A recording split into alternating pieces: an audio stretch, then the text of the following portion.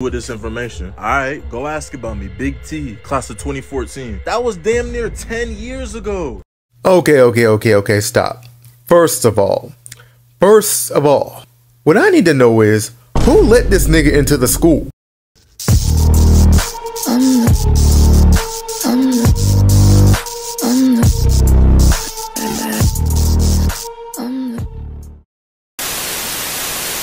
Alright, now today we're checking out a video called Dudes Who Peaked in High School. And let me just say this. I hope to God that nobody that's in my audience is one of these type of motherfuckers.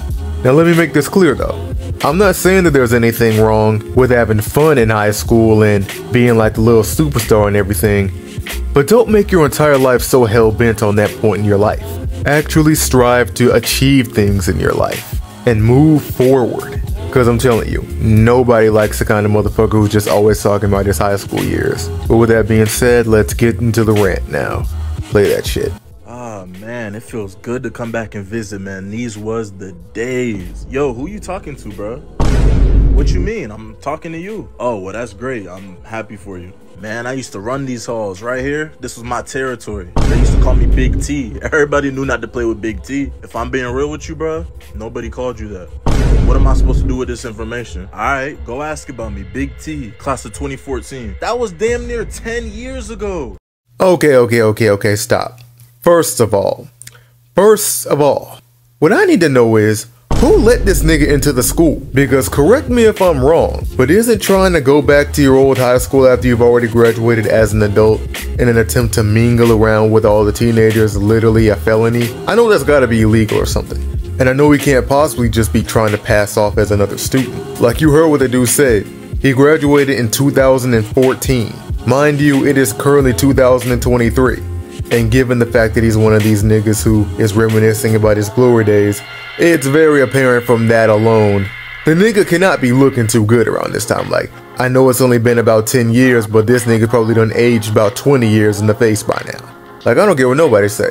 If you feel the need to go back to your old high school after nearly a whole decade to quote unquote reminisce on your glory days, you clearly had some rough years, bruh. And he's so stupid too, because if you are sneaking onto the campus, why the hell are you telling the students around you about the fact that you graduated 10 years ago? Matter of fact, why does he even feel the need to flex to a bunch of 16 and 17 year olds?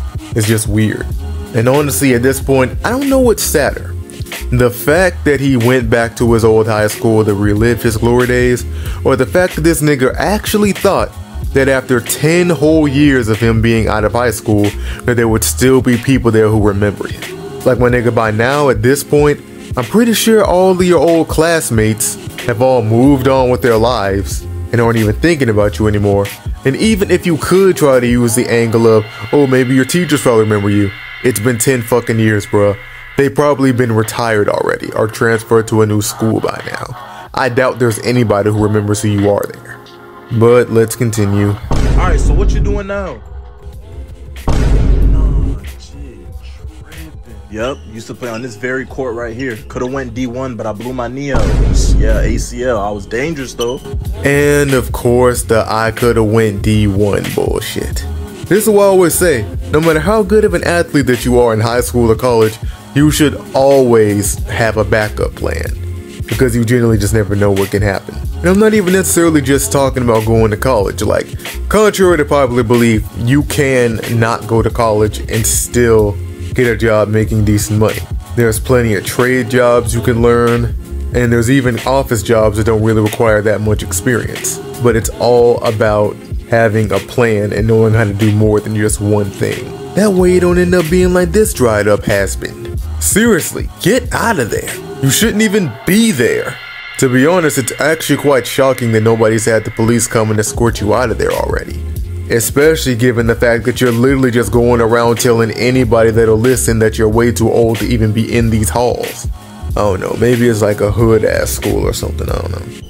Yo, number 13, you gotta fix that jump shot. You're not getting the full range of motion. Dog, who invited this man in here? I'm just saying, hey, class of 2014, number 23, I led us to the state championship. Go look me up. Go look up a job application. Those days are over, bro. You pushing 30. Go start a family. Hey, hey, hey, hey, now. I don't think the guy needs to necessarily go and start a family just because he's nearly 30. But he definitely need to go do something with his life. Because this ain't it. Not only is it pathetic, but it's not healthy either. Living in the past does nothing but hurt you. Like, come on, my nigga. You a grown ass man. By now, you should have a house and your own car. And like I said, you're nearly 30. You're not quite 30 yet, so I'd you, you, you're still kind of young. Go try to still achieve something. It ain't too late for you. Or at the very least, get a girlfriend or a hobby because, bro, my nigga, you're going out sad right now. Like, I wouldn't be surprised if this nigga was trying to riz up some of them high school girls while he was in there type shit, bro. I ain't even gonna hold you.